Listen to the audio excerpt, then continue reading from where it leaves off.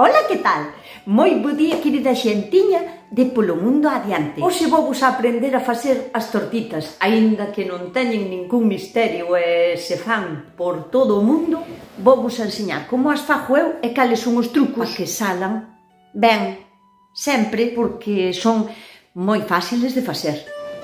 Pasade hasta a cociña.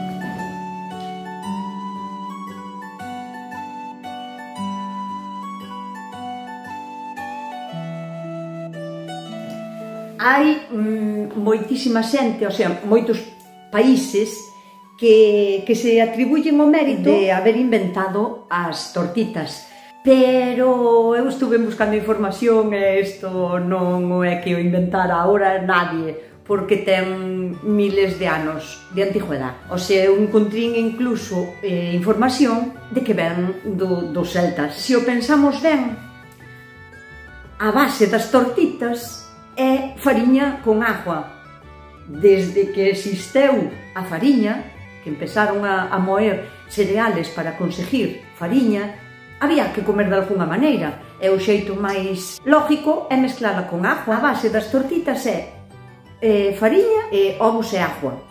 E iso é a alma das nosas filloas, das crepes, da, dos bollicos, das chulas. Era unha maneira de comer fariña ao largo dos anos foi evolucionando e agora temos as, as tortitas que eu vou facer. O normal é facer as tortitas con fariña de trigo, eh, da máis normaliña que, que, que encontredes, calquera vale, pero tamén vale fariña de millo, sin gluten, eh, fariña de...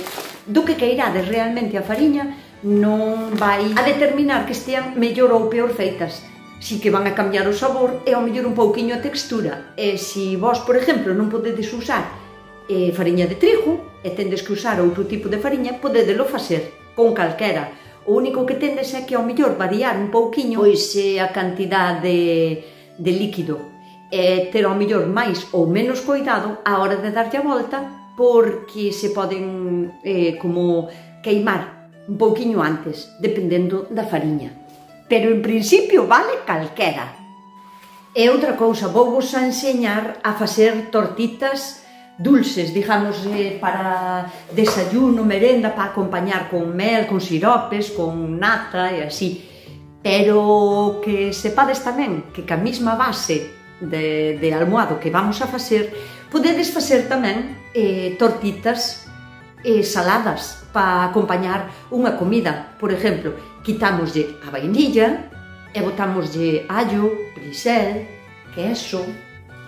Sabedes unha cousa que me costa moitísimo cando vos fajo unha receta? Que como eu fajo todo a ojo de buen cubero e boto así esa sei pola textura ou polo que sexa, se lle teño que botar algo máis, costame moitísimo ora eh, darvos eh, os ingredientes en gramos. Así que, bueno, pero ben, ben, eh, estou no facendo moi ben.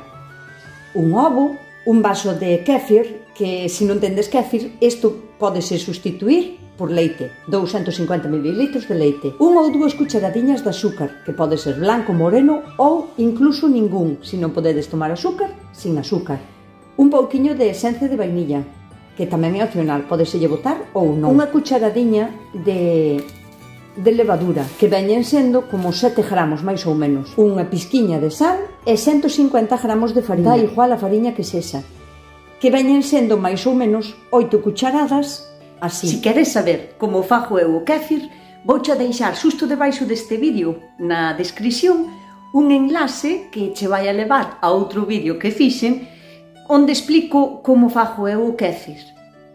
Dependendo a fariña que usedes, e ao mellor fai falta un pouquichiño máis ou un pouquichiño menos. O que temos que ter é o no ollo a consistencia que queremos conseguir. Botamos o ovo, unha cucharadiña de azúcar, unha pizquiña de sal, o kéfir ou o leite, esencia de vainilla, justo, as oito cucharadas de fariña e a cucharadiña de levadura.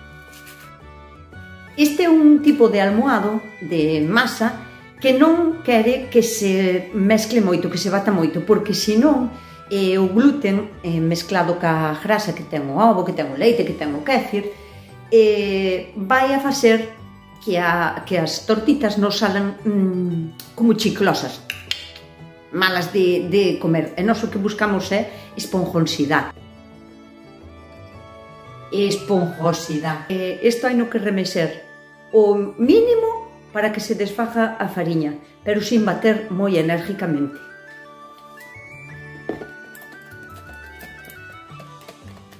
Como todas as recetas que se fan mezclando fariña con líquidos, o que sexa, sempre é conveniente deixalas mm, repousar un pouco. No caso de este almohado, eh, solo pode repousar un pouquiño, 3, 4, 5 minutiños, porque como ten levadurina, o seu tipo polvo de, de hornear, o royal, que en contacto con líquidos e cando empeza a facer o seu efecto non se pode deixar, mm, non sei, media hora aí descansando nin dun día para outro porque perdería o seu efecto. O tempo xusto de quentar as sarténs pa, pa facelas. Eh, e se sabedes que a primeira sempre é de prueba, pasa o mismo que as fillós, pasa o mismo que as chulas, vai a pasar o mismo que as tortitas. Eu vou poñer tres sarténs, pero vos ao principio, se non estades eh, acostumbradas a facelas, eh, poñedes unha sola, pero pouquiño a pouco ides vos a dar conta que vos vai a sobrar tempo pa, pa poñer varias, ou poñer unha sartén máis grande, unha plancha ou algo así, donde podades botar eh, varias aves, porque sobra tempo para que se vayan facendo para darlle a volta. A sartén ten que estar ben quente, ten que estar templada, Eh, incluso vos aconsello poñelas a quentar e despois retiralas un pouquiño para que non teña tanto tanto calor porque senón podense queimar as tortitas pero despois hai outro truco por si a vosa sartén non se pega ben de todo e sería botarlle ao almohado un pouquiño de aceite, un chorriño ou de, de mantequilla, si soledes usar mantequilla. Fai que, que se separen moitísimo mellor tamén da sartén de que estean ben quentiñas, empezamos a botar. Se o poñedes, se o facedes así nunha serra que teña un biquiño, despois a vos é moito máis fácil botar. E sempre botando no medio e deixar que se estenda a sola.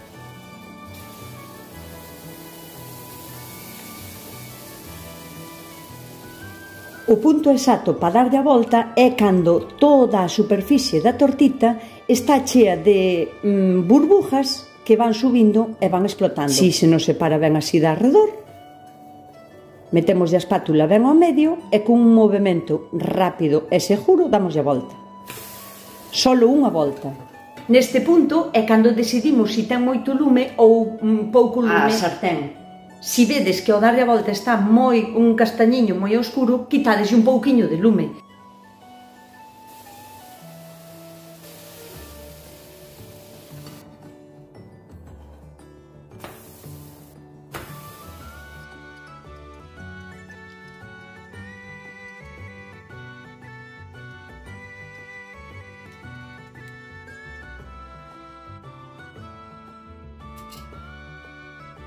Con estas cantidades que vos din, salíronme 12 tortitas.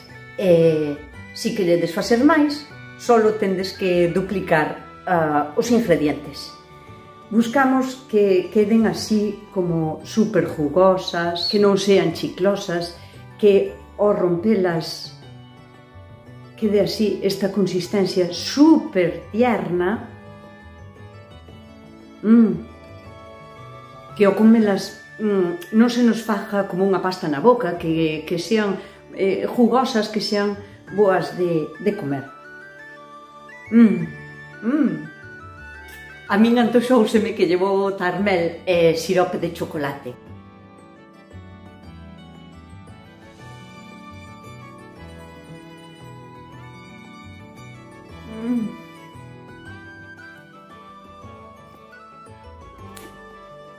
cremosas, esponjosas, riquísimas, perfectas. Se vos gustou este vídeo e queredes mm, máis vídeos, suscribidevos ao canal, que é totalmente gratuito, e dadelle a like. E, por suposto, sentidevos na total libertad de compartilo co mundo inteiro. E por hoxe, nada máis. Coidadevos, portadevos ben e sede moi felices.